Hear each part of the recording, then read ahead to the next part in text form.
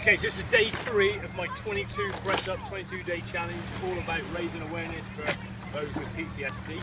So I want to thank my uh, cousin Luke Sobey. In fact, I'm going to nominate my cousin Luke Sobey to join in.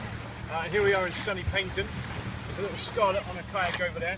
So I'm going to do my press up today on this thing. All right, so let's get going. We got one, two, three, four, five, six, seven,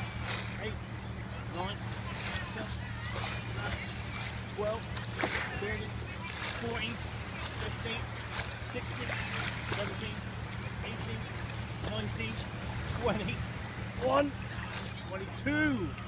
Ah. Oh, that's a little bit bumpy. See you tomorrow.